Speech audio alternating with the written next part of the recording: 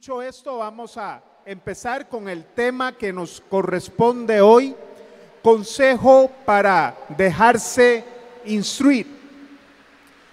Cuando una familia eh, decide no comprar una casa hecha, sino que decide construir una casa, todos los miembros de la familia tienden a opinar de cómo quieren la casa, dónde va la viga, cómo quieren el piso, cómo quieren las columnas, cómo quieren el techo, pero lo cierto es que tienen que dejar esa tarea a los que realmente saben al ingeniero, al arquitecto, al maestro de obras, al encargado de obra que sabe cuáles son las medidas, cuáles son los pesos que puede soportar el terreno, cuál es la hidráulica, la mecánica, todo lo que conlleva una construcción.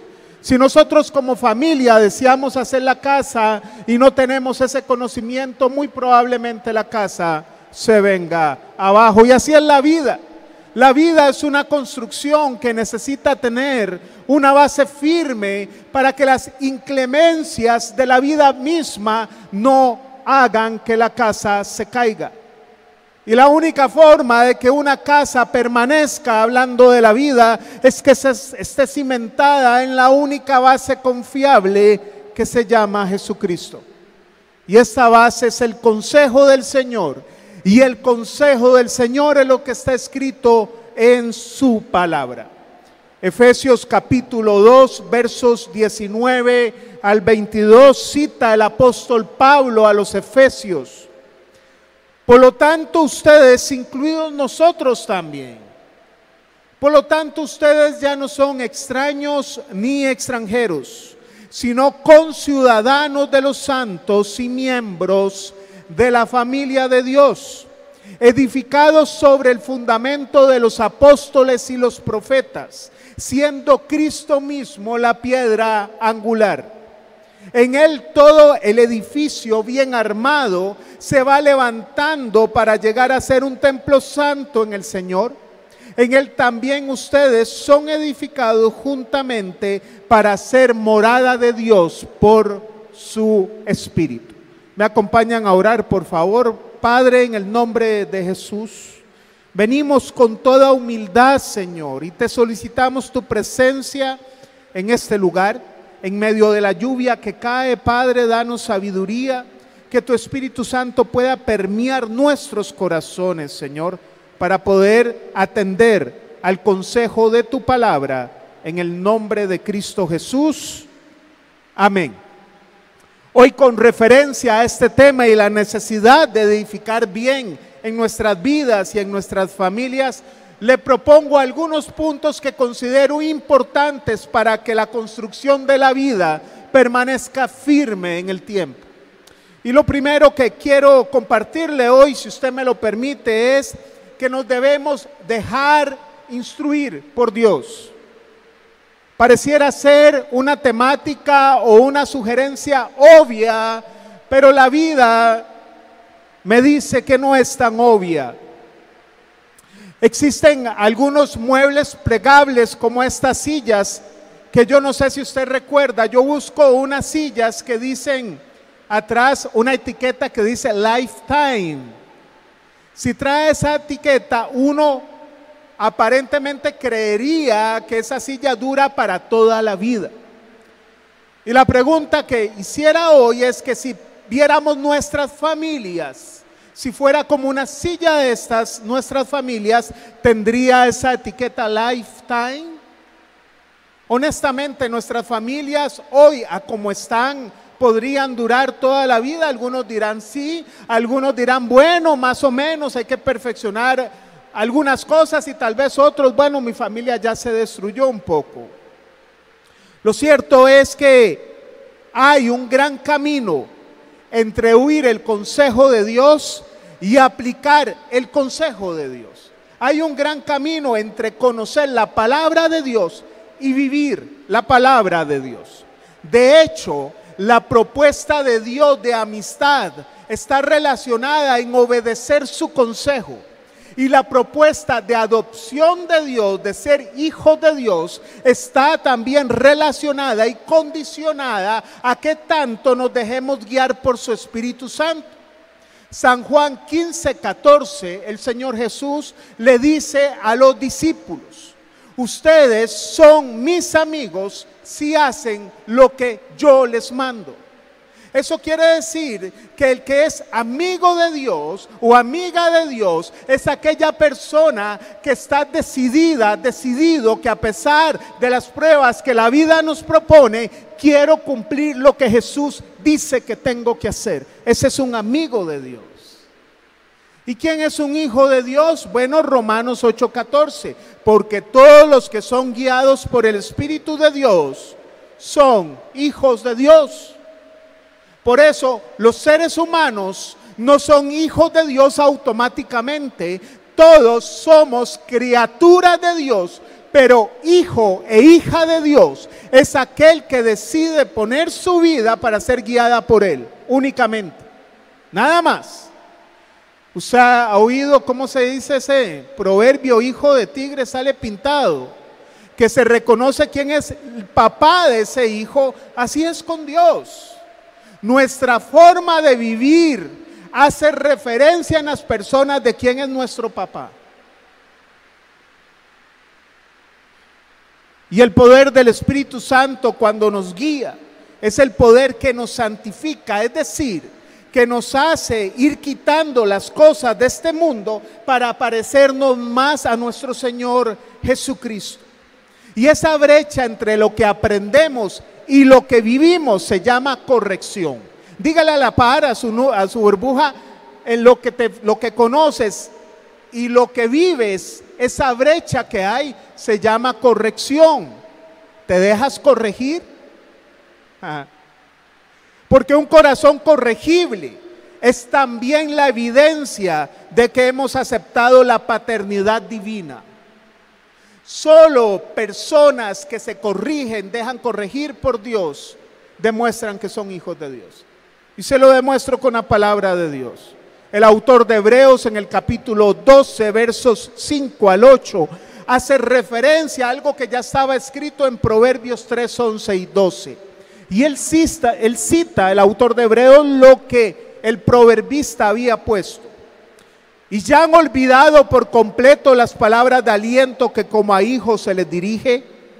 Hijo mío, no tomes a la ligera la disciplina del Señor, ni te desanime cuando te reprenda, o cuando te regañe, o cuando te corrija, según la traducción. Porque el Señor disciplina a los que ama y azota a todo el que recibe como hijo lo que soportan es para su disciplina, pues Dios los está tratando como a hijos. ¿Qué hijo hay quien el padre no disciplina? Si a ustedes se les deja sin disciplina, todos, que todos reciben, entonces son bastardos y no hijos legítimos. Es una palabra fuerte el autor de Hebreos. Ustedes serían bastardos y no hijos, porque una evidencia que un hijo de Dios es hijo de Dios es que se deja corregir. Es que no infla los cachetes, es que entiende que algo está mal y se deja corregir porque está mal. Porque vivimos en una época que porque creemos que todo el mundo hace una cosa, la cosa es buena. Y no es así. Es lo que Dios ha dicho que es bueno. ¿Sabe? Cuando yo me reconcilié de verdad con el, Señor a los 19 años. Yo hacía oraciones profundas, lo que llamo oraciones profundamente salvajes, que no sé si haría hoy. Pero recuerdo que en ese momento yo le decía, Señor, tú que conoces el futuro, Padre, si tú ves que voy a caer en un pecado y me voy a desviar, córtame y llévame. Yo hacía ese tipo de oraciones. Y recuerdo que jóvenes de la iglesia me decían, usted es como un bicho raro, porque esas oraciones no se hacen. Y yo les preguntaba, les decía, el mundo me puede tratar como un bicho raro, pero me extraña que dentro de la iglesia también. Y sabes que, ¿cómo no dejarse guiar por Dios?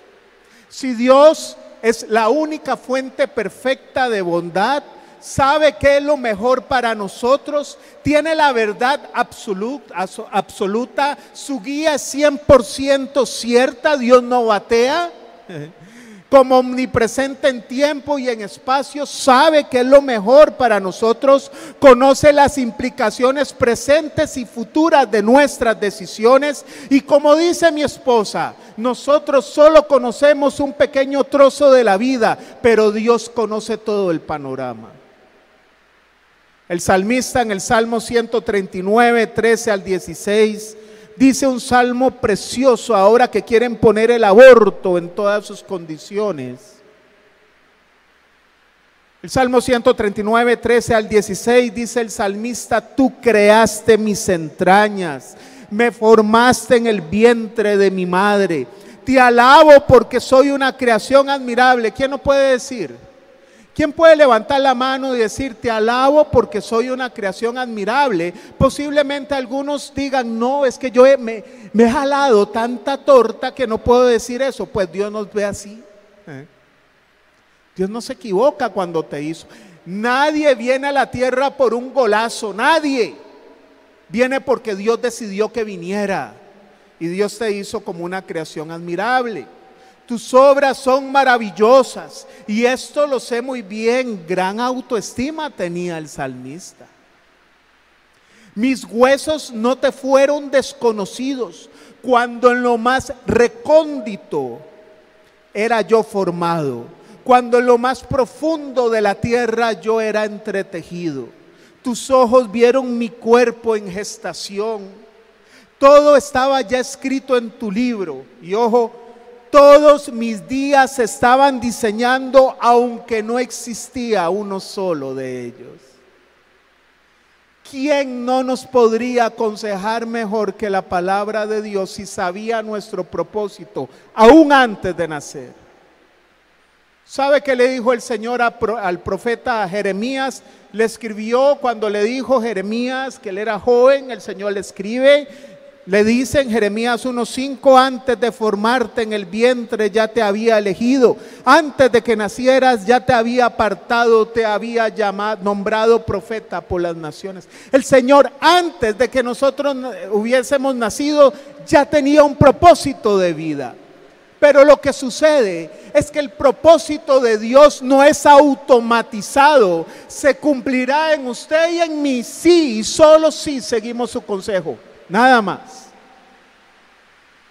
Porque si no, el mundo no terminaría como va a terminar según Apocalipsis. Que a pesar de ver todos los juicios de Dios, dice que los hombres no se arrepintieron de sus malas obras. No porque Dios no quisiera, sino porque eligieron desobedecer. Y lo más evidente es en el huerto, en el Edén. El propósito de Dios con Adán y Eva era relacionarse con ellos, que ellos se relacionaran entre ellos y que puedan relacionarse con la creación que Dios hizo y ser administradores de esa creación. Pero ignoraron el propósito divino y su fin fue muy diferente al que el, al que el propósito de Dios había establecido. Así que no es un propósito automatizado. Tenemos que seguir el consejo del Señor. Tenemos que ser fiel a orar con el corazón, a leer la palabra de Dios, a ser transformados por el Espíritu Santo para poder hacer posible que el propósito de Dios en nosotros se cumpla. En la escena de la transfiguración, ¿se acuerdan? Aparece Elías aparece Moisés y aparece Jesús en el centro. El Señor se les aparece transfigurado en su gloria a tres de sus discípulos, a, Pedro, a Juan y a Jacobo. Se les aparece, pero en un momento de esa escena desaparece Moisés y Elías. Y hay una voz del cielo que es el Padre Celestial que dice, Mientras estaba aún hablando, cita Mateos 17:5, apareció una nube luminosa que los envolvió, de la cual salió una voz que dijo, este es mi Hijo amado, estoy muy complacido con él. Escúchenlo. ¿A quién estamos escuchando? El Señor dijo, escúchenlo. Ya no es Moisés, ya no es Elías, es Jesús. Escúchenlo, es una orden del Padre. Escúchenlo, es a Él, escúchenlo.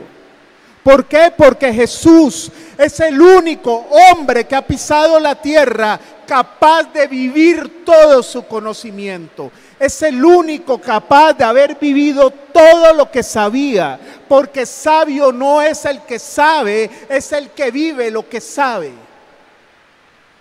Él era el verbo de Dios, era la acción viviente, es la palabra viva. Era Jesús. Y como Él vivió todo su conocimiento, a Él es al que tenemos que escuchar. Él lo dejó todo para buscarnos. Miserables pecadores sin futuro, sin propósito ni esperanza. Como dice el autor de Hebreos con esa palabra pesada como bastardos con el alma sucia, pero el Señor no nos ve así, nos limpió, nos dio un futuro, nos dio certeza de eternidad, herencia eterna, sí, solo sí, seguimos su consejo. ¿Qué sucede cuando ignoramos el consejo de Dios? Uno, actuamos bajo el principio satánico de rebelión. Segunda de Tesalonicenses 2, 3, 4 dice, no se dejen engañar de ninguna manera, porque primero tiene que llegar la rebelión contra Dios y manifestarse el hombre de maldad, el destructor por naturaleza. Este se opone y se levanta contra todo lo que lleva el nombre de Dios o es objeto de adoración hasta el punto de adueñarse del templo de Dios y pretender ser Dios. Pablo aquí hace una alusión al espíritu del anticristo al espíritu de la bestia que habla Apocalipsis. La pregunta es, ¿cuál espíritu es por el cual nos dejamos influenciar? ¿Por el espíritu del anticristo o el Espíritu Santo? ¿Por cuál? ¿Por cuál? Lo segundo es que cuando negamos el consejo de Dios entristecemos al Espíritu Santo. El Espíritu Santo es una persona y le causamos tristeza cuando nosotros le ofendemos, cuando ignoramos su consejo. Efesios 4:30 en la nueva traducción viviente dice, no entristezcan, no entristezcan, imperativo, orden, mandato, no entristezcan al Espíritu Santo de Dios. ¿Y cómo lo entristezco? Con la forma en que vivo. Recuerden que Él los identificó como suyos y así les ha garantizado que serán salvos el día de la redención. La forma en que como yo vivo alegra o entristece al Espíritu de Dios.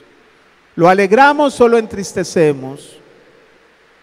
He de decir que muchas veces le he causado muchas lágrimas al Espíritu Santo. Pero que Dios nos ayude a no perder la conciencia rápida de, saber, tener la conciencia de decir, perdón Señor, porque te causé tristeza. Que nunca se nos quite esa conciencia. Tres, negar el consejo de Dios es negar a Dios mismo. Primera de Tesalonicenses 4, 7 al 8 dice, Dios no nos llamó a la impureza, sino a la santidad. Por tanto, ojo, el por tanto, cuando se usa en la Biblia y se usa de forma judicial, es un fallo.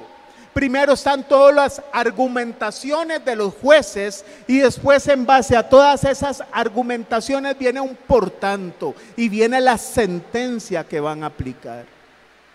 Por tanto, el que rechaza esas instrucciones no rechaza a un hombre, sino a Dios quien les da a ustedes su Espíritu Santo. Y por último, y la más delicada, endurecemos el corazón. Hebreos 4, 7, 8 dice, por eso como dice el Espíritu Santo, si ustedes oyen hoy su voz, no endurezcan el corazón como sucedió en la rebelión, haciendo referencia a lo que hizo Israel en el desierto. Cuando endurecemos el corazón es que hemos entristecido tanto, tanto al Espíritu Santo, Hemos escuchado su voz. El Señor no va a venir y le va a hablar así, vea, Robert, no haga eso. Usted lo siente en el corazón que el paso que va a dar al Señor no le agrada. Y usted siente la voz, pero lo haces o lo hago.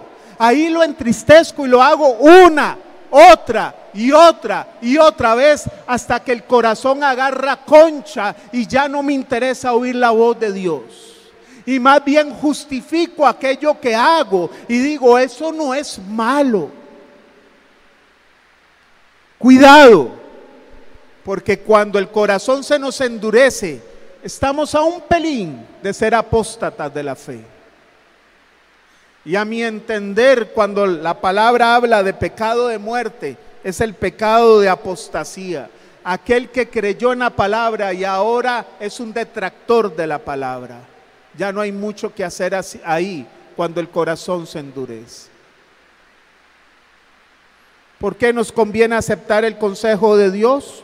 Porque todo, absolutamente lo que Dios nos dice es correcto, es bueno, porque la atención a su consejo nos da paz y seguridad. Usted y yo podemos dormir tranquilos cuando seguimos la palabra de Dios. Aunque usted viva situaciones difíciles y yo podemos dormir en paz porque sabemos que Él nos sostiene. Y podemos decir como el salmista, todos los días, todos mis días estaban diseñando aunque no existía ninguno de ellos. Sabemos que él, que él nos va a dirigir. Y como he dicho muchas veces, nada de lo que Dios nos manda nos perjudica, nada. Ningún mandamiento de Dios nos perjudica, ninguno. Todo nos beneficia, absolutamente todos. Lo segundo que le propongo en esta noche es, dejémonos instruir en las finanzas. Dejémonos instruir financieramente. Nuestros problemas financieros no son necesariamente pruebas, sino más bien son elecciones de vida que hicimos por no pedir consejo antes de tomarlas. Y nos guiamos por la impulsividad y la independencia de Dios por la falta de contentamiento. Nunca es suficiente lo que tengo y porque vivo una vida de mentira, un estilo de vida que está financiado por pura deuda. Pero yo creo que es lo mejor, porque me hace feliz, porque yo puedo invitar a toda la gente con la tarjeta. Pero no estoy siguiendo el consejo de Dios. ¿Sabe? Tendemos a buscar a Dios lastimosamente, no para prevenir los incendios, sino para apagar los incendios. Me gusta mucho como el Señor le habla a Josué. A Josué este, esta, esta cita se ha hablado mucho con la teología de la prosperidad, que Dios te hizo para prosperar, para tener éxito. Si usted diezma y ofrenda, sí, hay que hacer eso. Pero Dios nunca habló que te va a estallar el tren de la bendición en la casa. La forma es diferente. Le dice a Josué, solo te pido en Josué 1.7.8 que tengas mucho valor y firmeza para qué? Para obedecer toda la ley que mi siervo Moisés te ordenó. No te apartes de ella para nada. Solo así tendrás éxito donde quiera que vayas. ¿Dónde está ahí que si yo doy voy a tener éxito? Doy, tengo éxito si guardo la palabra. Recita siempre el libro de la ley. Habla la palabra y medita en él de día y de noche, reflexiona sobre la palabra, cumple con cuidado todo lo que él está lo que en él está escrito. Vivamos la palabra, así prosperarás y tendrás éxito. ¿Sabe? Prosperar no significa que yo tenga muchas cosas. Significa es que siempre esté contento con lo que tengo. Eso es una vida próspera. Cuando no hay, tiene gozo. Y cuando hay, tiene gozo. ¿Cómo es usted? Cuando le falta la plata, está de chicha. A veces nos pasa. Cuidado, porque el Señor solo puso un competidor principal con él. Nadie puede adorar a Dios y a las riquezas, a dos señores. Las riquezas lo puso como el principal competidor que iba a venir al corazón con Dios. Y en esto de las finanzas siempre vamos a reducir todo a dos tipos de consejos. El consejo preventivo, que este es el, el ejercido por aquellos que realmente toman la vida con seriedad, que entienden que no tienen el control sobre su futuro y se informan de las fuentes correctas. Pero lastimosamente vivimos en una vida, hoy en una época donde el lema es nadie se meta con mi vida. Nadie. Hablamos mucho y escuchamos poco. Y aún el libro de Proverbios dice que aún el más necio, cuando sabe escuchar, pasa por sabio. Proverbios 17, 28 dice, hasta un necio pasa por sabio si guarda silencio, se le considera prudente si cierra la boca. Y eso es lo que hizo Faraón con José. ¿Se acuerda la historia de José? Dios le da un sueño, un propósito a José. José va a la cárcel. José recibe revelación divina para que interprete los sueños de Faraón. El sueño es las famosas vacas y las espigas flacas y gordas. Y eran siete años de prosperidad y siete años de eh, escasez para Egipto. Y el Señor ilumina a José y le dice la solución es esta durante los siete años de prosperidad vas a guardar una quinta parte del grano y así con esa quinta parte del grano Egipto no va a perecer porque va a tener para los siete años de escasez. Guarda el 20% de lo que tiene y usted va a tener para los siete años que va a haber escasez. ¿Y cuál fue la reacción de Faraón? Un hombre no creyente, un hombre pagano, un hombre idólatra, un hombre poderoso. Pero ¿cuál fue la actitud de Faraón? Dice Génesis 41, 38, 40. Al faraón y a sus servidores les pareció bueno el plan. Entonces el faraón les preguntó a sus servidores, ¿podremos encontrar una persona así en quien repose el Espíritu de Dios? Puesto que Dios te ha revelado todo esto, no hay nadie más competente y sabio que tú. Quedarás a cargo de mi palacio y todo mi pueblo cumplirá tus órdenes. Solo yo tendré más autoridad que tú porque soy el rey. Siendo el rey, Faraón dijo, mi consejo no vale, mi sabiduría no vale. Delante de ti, delante de mí hay alguien que sí sabe y que Dios lo mandó y voy a atender ese consejo y voy a vivir ese consejo y la acción de Faraón hizo que Egipto pudiera sobrevivir. Porque las decisiones financieras o nos hunden o nos levantan, pero también hunden o levantan la familia. Gracias a que Faraón dijo sí a Dios, toda una nación sobrevivió con bien. Consejo preventivo. Antes de tomar una decisión no se crea demasiado sabio. Dice Eclesiastés, no te creas demasiado justo. Pida consejo. Todos los que estamos aquí y principalmente los que Dios nos da la los que Dios nos da la posibilidad de enseñar, tenemos que estar en la silla del aconsejado para poder ser consejero.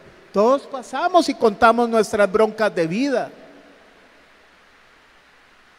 Y el consejo curativo, ese es el que abunda.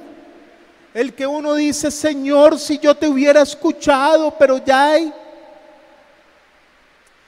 Segunda de Reyes 4, 5, 7, lo he leído varias veces.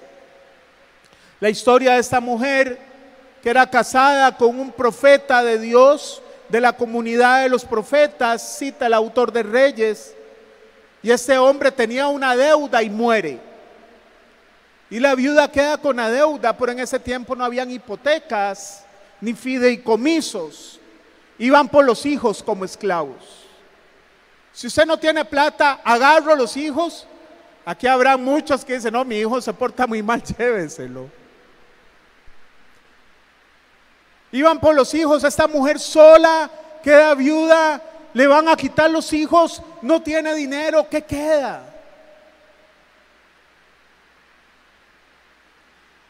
Dice la historia en 2 de Reyes 4, 5, 7, enseguida la mujer dejó a Eliseo y se fue. Luego se encerró con sus hijos y empezó a llenar las vasijas que ellos le pasaban.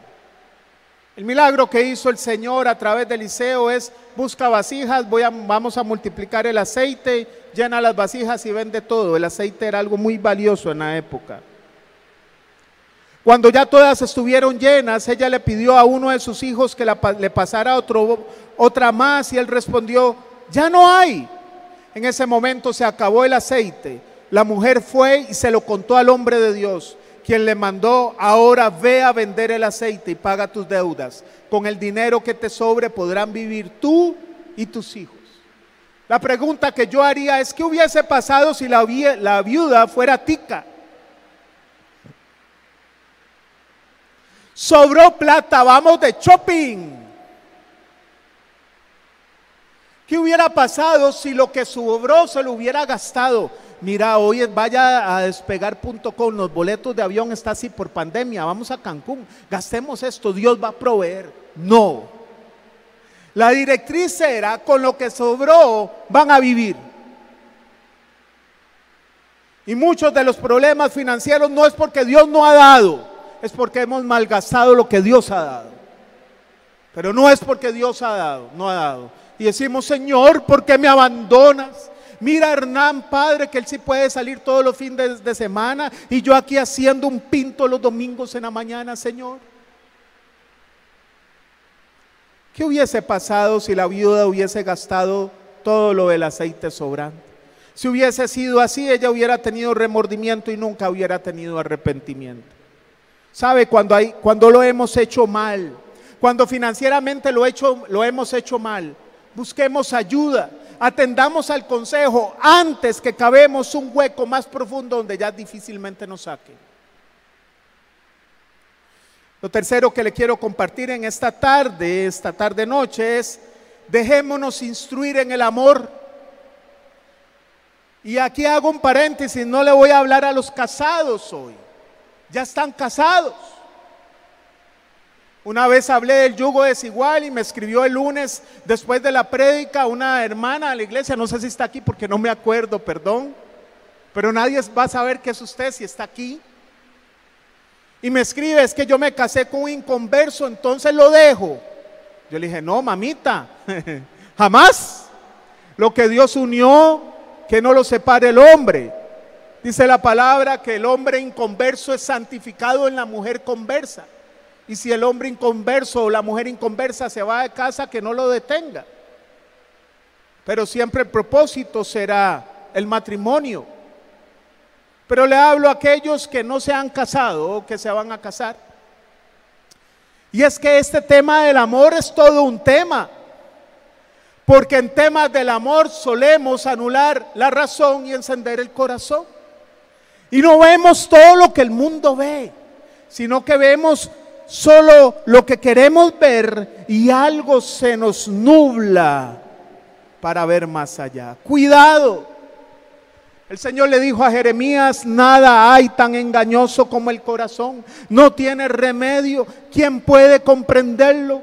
Yo el Señor sondeo el corazón y examino los pensamientos para darle a cada uno según sus acciones y según el fruto de sus obras. Hace 15 días Brian y Jessica de una forma lindísima hablaron de Salomón, como Salomón en medio de todo lo que podía pedir cuando Dios le dijo, pide lo que quieras, él pidió sabiduría. Pero podemos empezar muy bien y terminar muy mal. Vea lo que hizo el hombre más sabio de la época. Primera de Reyes 11, 1 al 2. Ahora bien, además de casarse con la hija de Faraón, el rey Salomón tuvo amoríos con muchas mujeres moabitas, amonitas, edomitas, sidonias e hititas. Todas ellas mujeres extranjeras que procedían de naciones de las cuales el Señor había dicho a los israelitas no se unan a ellas. Ni ellas a ustedes, porque de, seguro les desviarán el corazón para que sigan a otros dioses. Con tales mujeres se unió Salomón y tuvo amoríos. Ve que sabio no es el que sabe, sino el que vive lo que sabe. Este hombre era el hombre más sabio, pero ignoró a Dios y todas las mujeres que le gustaban eran fuera de Israel. Seguro él decía, las judías son feitas, pero así es como Satanás nos hace ver. Yo he entrevistado aquí a algunos jóvenes que todavía no has conseguido novia acá y no, el inventario no está bien en esta iglesia, hay que ir a otra.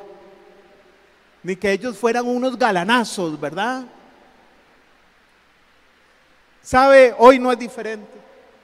Segunda de Corintios 6, 14, 15, el apóstol Pablo, muy conocido, no formen junta con los incrédulos. ¿Qué tienen en común la justicia y la maldad? ¿O qué comunión puede tener la luz con la oscuridad? ¿Qué armonía tiene Cristo con el diablo? ¿Qué tiene en común un creyente con un incrédulo? Hoy no es diferente. No se case no con otra nacionalidad, dice Pablo. Cásese con aquellos que están en su reino y no en otro reino espiritual. Porque no hay ninguna relación entre un creyente y un no creyente. Te va a desviar el corazón, te va a hacer negociar los valores, vas a caer. Si antes no tomabas, vas a pasar tomando. No vas a venir ya a la iglesia. Es que yo conozco el futuro, yo sé lo que te conviene. No se case, aunque lo vea guapo, aunque la vea guapa, aunque usted diga que me voy a morir, si se va, no se va a morir. Nadie se muere de amor. Pero ¿sabe qué siguió haciendo Salomón? Primera de Reyes 11:4. En efecto, cuando Salomón llegó a viejo, Sus mujeres le pervirtieron el corazón de modo que él siguió a otros dioses. Ya no solo estaba casado con ellas, sino que ya dejó a su Dios para seguir a otros dioses. Y no siempre fue fiel al Señor su Dios como lo había sido su padre David. Y algo más delicado, Primera de Reyes 11, 19. Entonces el Señor Dios de Israel se enojó con Salomón porque su corazón se había apartado de él, a pesar de que en dos ocasiones se le había aparecido. Cuando una persona está enamorada de alguien que no le conviene, puede pasar que hasta Dios mismo se le aparezca y lo ignore. Dos veces Salomón. Así de engañoso es el corazón. Y cuando se casan van donde la mamá, mami, porque yo no le hice caso. Parecía un ángel, pero se convirtió en el diablo.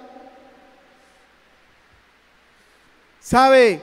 En estos temas del amor, por eso Pablo dice a los jóvenes, huyan de las pasiones juveniles, jalen, corran, cuando veo la historia de José, José viene ahí, viene la esposa de Potifar, se acuerda que sí, probablemente fuera muy guapetona, muy guapa, muy guapa, y le dice, uy, José, usted me tiene loco. Usted sabe que José hubiera dicho, yo soy siervo de Dios, voy a probar hasta cuándo soporto. Sedúzcame, a ver, yo soy fuerte. No, él jaló. Y quedó desnudo porque lo agarró la desesperada de la ropa. Pero ¿qué hubiera quedado? ¿Qué hubiera pasado si José se queda ahí en la casa? Perdona expresión, seguro se le aprieta. No pruebe qué tan fuerte es.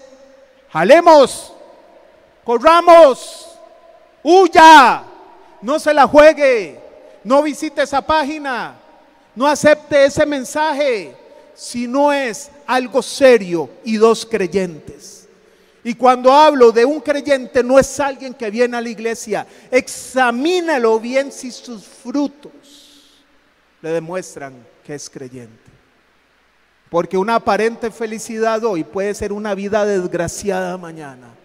Y no va a ser difícil que te, no va a ser fácil que te puedas soltar. Porque un matrimonio no es un desecho, es una elección de vida. Así que en estos temas del amor, yo hablaba ahora en el culto de las cuatro que los padres tenemos la costumbre de decir, Señor, estoy orando para que venga el príncipe azul para mi hija o la princesa azul para mi hijo. Yo agarro a mis hijos y les he dicho, mira, a ustedes les falta esto y esto y esto para ser un príncipe azul. Entonces yo no puedo orar por ustedes por un príncipe azul. Porque a veces queremos mejor a los hijos, lo mejor para los hijos, Pero ellos no están hechos para que los hagan feliz. Ellos también tienen que hacer felices a las otras personas, a la persona con que se van a casar. Si en casa no tienden la cama, ¿cómo van a correr por su cónyuge? Si mamá se enferma y no se pone de pie para ver en qué le puede ayudar, ¿cómo va a correr con su cónyuge?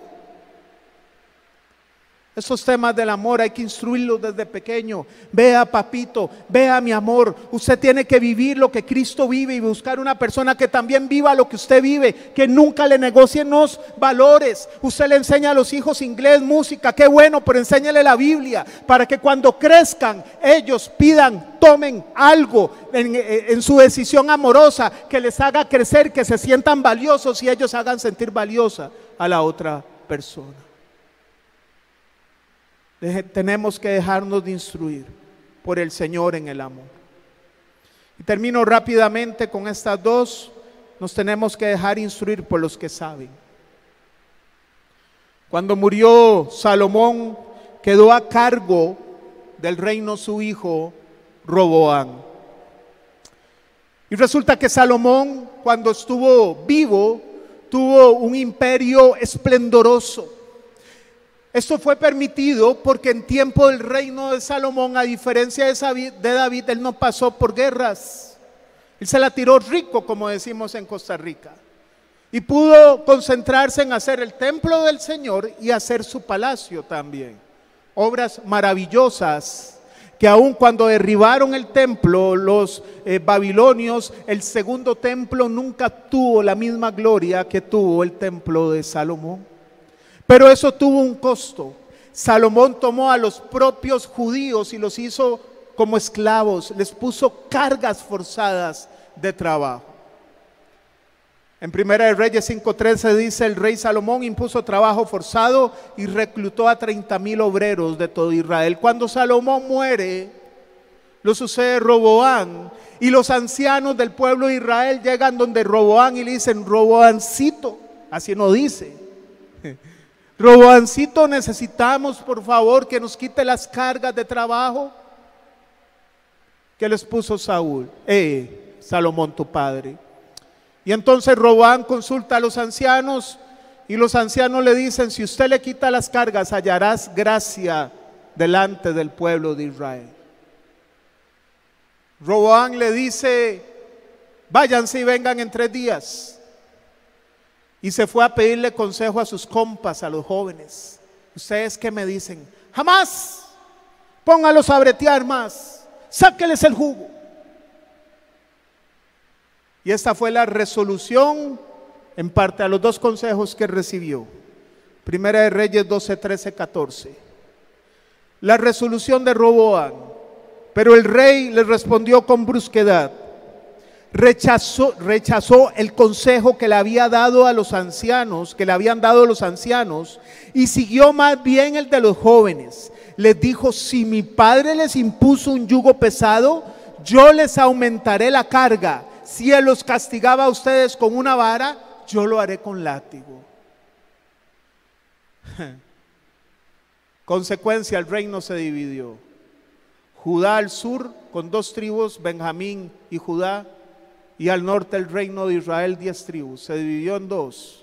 Consecuencia uno, consecuencia dos, fueron cautivos los dos pueblos. Fueron llevados prácticamente como esclavos a Babilonia por una nación extranjera. Consecuencia, porque Roboán no quiso atender el consejo que necesitaba oír, sino el que quería escuchar, y eso nos pasa mucho. Vamos buscando de consejero en consejero, este no me gusta, este no me gusta, este no me gusta, hasta que toma aquel que le dijo lo que quería oír y dice, este sí, este santo, Señor Inmaculado, bendícelo. Hace un tiempo atrás llegó una pareja y no me habían dicho que habían ido donde el pastor Marco. Y me dijeron, quiero casarme. El pastor Marco les había dicho que no, porque resulta que ellos habían dejado sus cónyuges para unirse. ¿Quién nos iba a casar? Pero cuando ellos llegan y me buscan, no me dicen que habían hablado con él, ni que habían dejado votados sus matrimonios. Estamos en la iglesia, estamos contentos, aquí levantamos manos, aleluya, nos sentimos bien y queremos casarnos.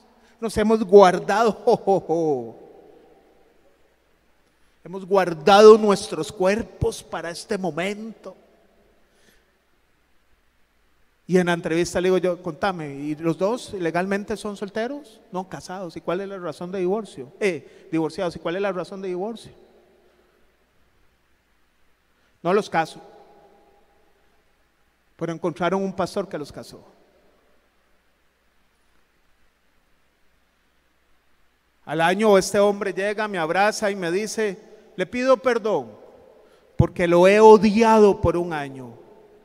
Y a Marco también, porque no nos casaron. Y vengo a pedirle perdón porque no le hice caso y ayer mi esposa me dejó votado con otro. Y yo, es que esa nunca fue su esposa. Usted quiso que fuera su esposa, ni usted esposo de ella. Usted lo que le tocaba era volver a casa, pedir cacado, perdón, dar obras de arrepentimiento a ver si su esposa verdadera lo dejaba nuevamente ingresar. Y si no, quédese solo, porque eso es lo que usted eligió, si quiere agradar a Dios. A veces andamos viendo qué es lo que queremos y no lo que necesitamos escuchar. Y por último, dejémonos instruir por completo. Un medio consejo no sirve para nada. Y lo primero es, hable con toda la verdad de su situación. No hable media verdad porque usted va a recibir medio consejo. Salmo 32, 3, mientras guardé silencio, mis huesos se fueron consumiendo por mi gemir todo el día. Muchos podemos padecer enfermedades crónicas, el colon inflamado, úlceras que se transforman en cáncer gástrico. ¿Por qué? Porque el cuerpo refleja un alma enferma. Cuando nos guardamos todo, cuando no confesamos la situación, nuestro cuerpo nos habla. La presión arterial se te sube. Mientras callé mientras guardé silencio, mis huesos se fueron consumiendo por mi gemir todo, todo el día. Sabe, hablar es liberador, pero el enemigo nos quiere engañar.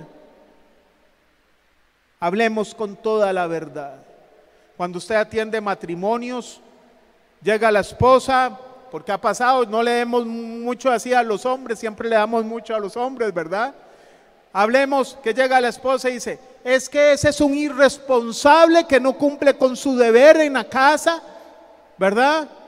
Y siempre decimos, oiga las dos versiones, nunca se quede con una. Si usted se queda con una y usted ve al esposo cuando, mira, ese es el irresponsable, desgraciado, hipócrita, y viene a levantar manos y a tomar la cena. Oiga las dos versiones.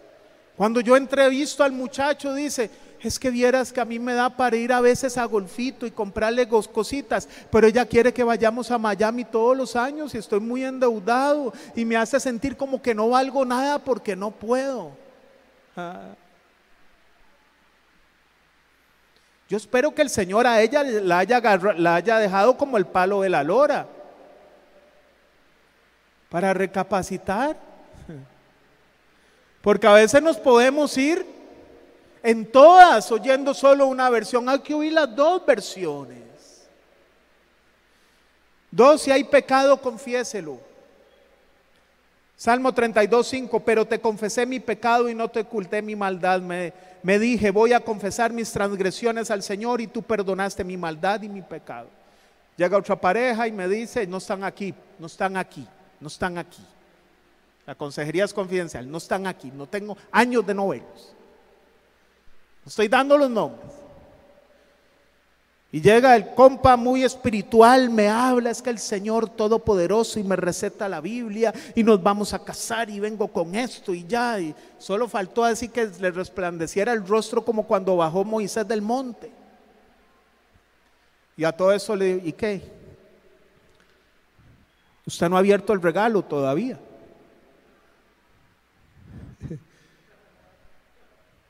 Y lo digo con respeto. Él se queda así y me dice ella, sí, Sí, y está mal. Y yo sí lo voy a decir, porque está muy mal. Porque ahora todo el mundo lo hace y lo ve normal. No, los novios es normal que se conozcan. ¿Quién novio no se acuesta? No es normal. No es normal. Yo cuando veo adultos siempre digo, si, son adultos y vienen que son viudas o, fueron traicionados y puede casarse nuevamente, cásese rápido. Cásese rápido si se va a casar.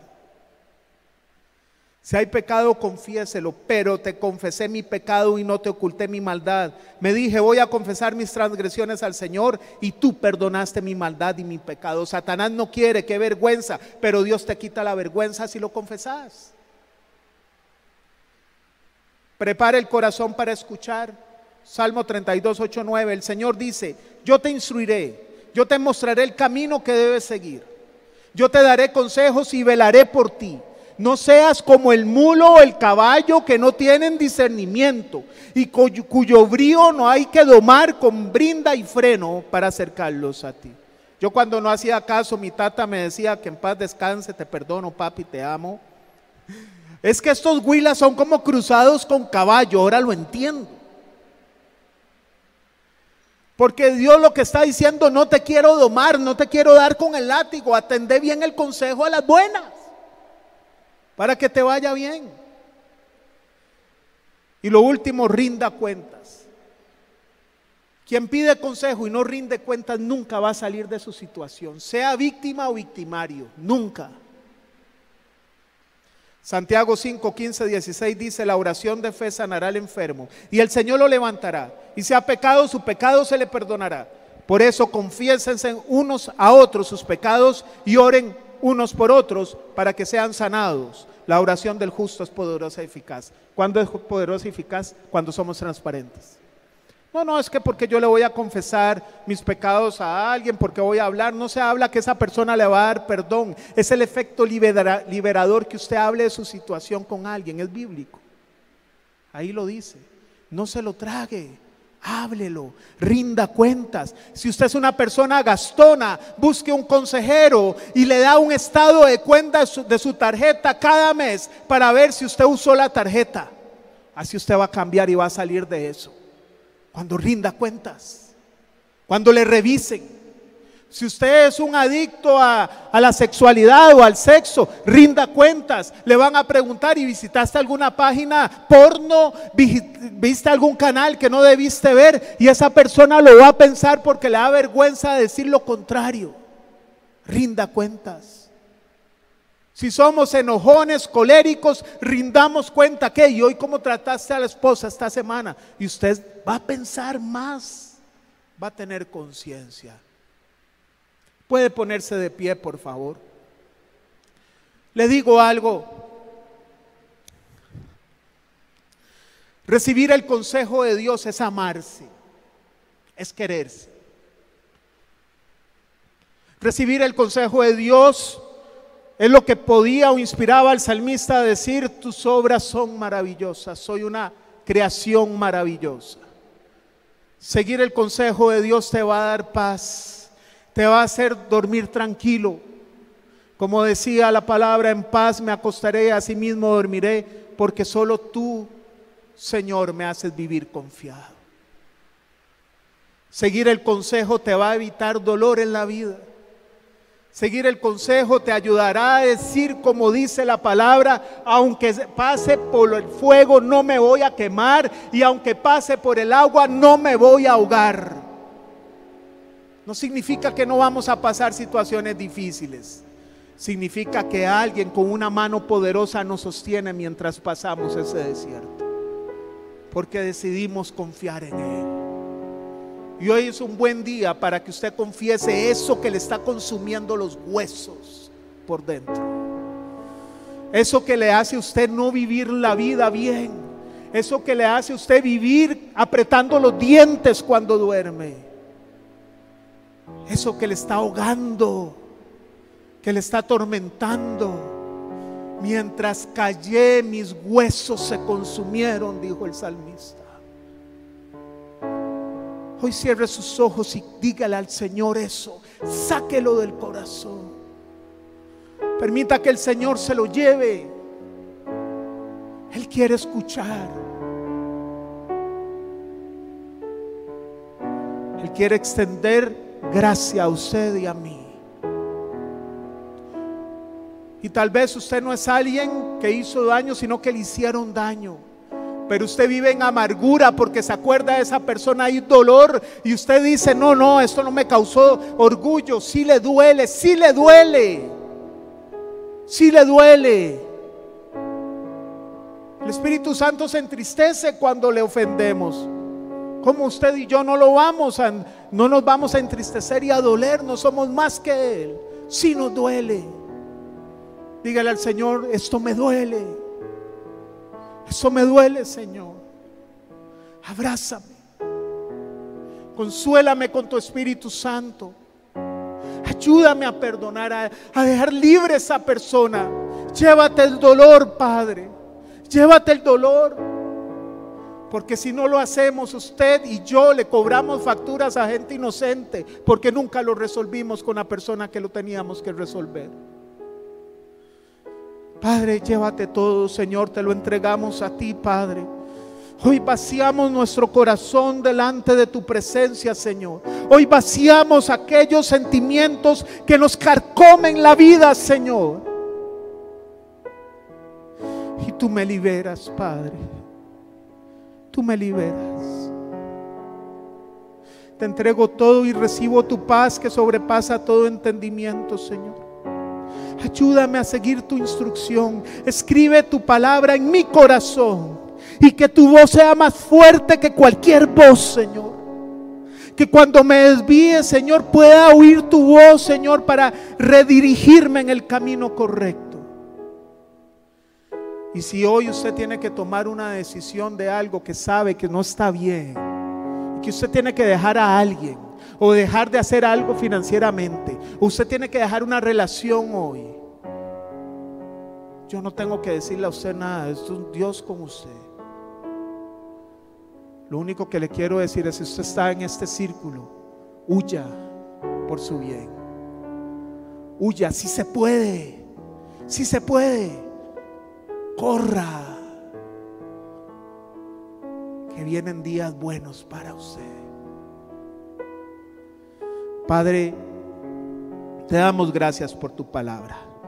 Haznos mansos y humildes como tú, Señor, y ayúdanos a recibir el consejo del cielo. Bendice a mis amigos y amigas que nos visitaron el día de hoy. Llévanos con bien a nuestros hogares. En el nombre de Cristo Jesús. Amén. Que la paz de Dios sea con ustedes, que Dios los bendiga y los guarde.